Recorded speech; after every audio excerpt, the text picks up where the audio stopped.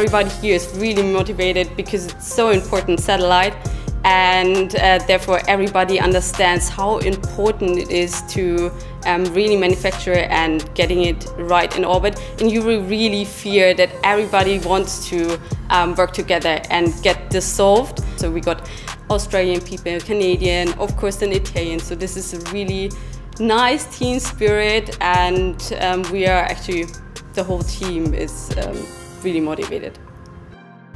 So I think uh, OHB has a great mixture of experienced and young people, but also of people who have um, yeah, the willingness to innovate, to come up with new solutions, to come up with uh, ideas that uh, make, make this very challenging time schedule that we have uh, feasible the most important thing is it's basically helping Europe meet its um, climate, climate, Paris Agreement uh, responsibilities, which was to produce um, worldwide maps of carbon output so that then they can verify the commitments taken by the different countries.